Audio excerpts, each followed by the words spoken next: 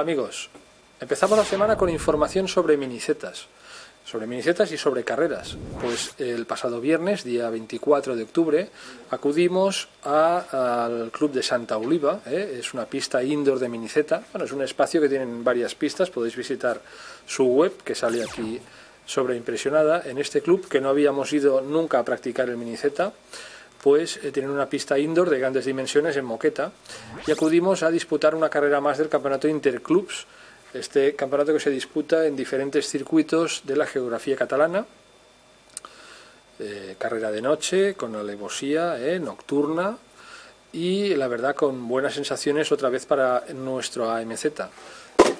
Aquí podéis ver nuestro AMZ que se vende todo completo emisora, chasis y le aplicamos cualquier carrocería de miniceta.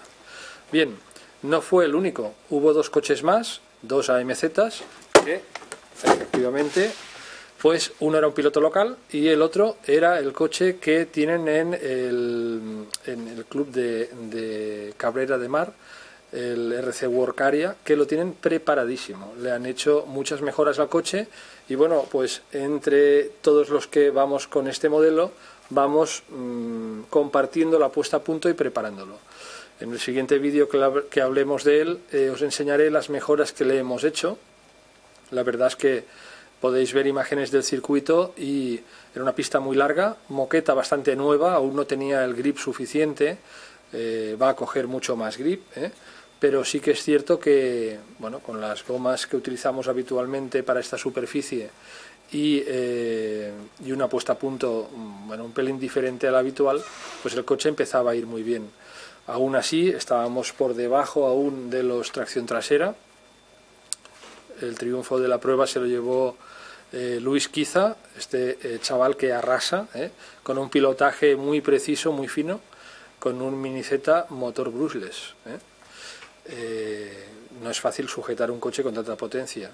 El segundo lugar eh, lo obtuvo Albert Liesa, piloto local, y Rubén Márquez eh, se llevó la tercera posición a esta prueba. Desde aquí los felicitamos y ya os digo, en el siguiente vídeo os enseñaremos los cambios que le hemos hecho al, al, modelo AMZ, a nuestro coche, para que eh, veáis qué mejoras que se han notado todas. Sí que constatamos una cosa y es que cada pequeño cambio que le hacíamos, tanto de transmisión, de ratio, como de ajuste de chasis, lo notamos muchísimo en pista.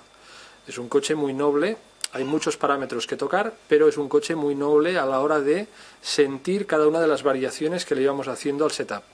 Con lo cual, eh, bueno, pues eso ayuda muchísimo a encontrar las sensaciones para ir rápido en pista. Nada más, eh, nos veremos en el siguiente vídeo y veréis estas, estos ajustes si os ha gustado esta pequeña explicación e información de este club que no habíamos visitado nunca, pues darle al me gusta. Si tenéis alguna consulta que hacernos, eh, hacerlo en los comentarios de este vídeo y suscribiros al canal si todavía no lo estáis. Nos vemos en el siguiente vídeo.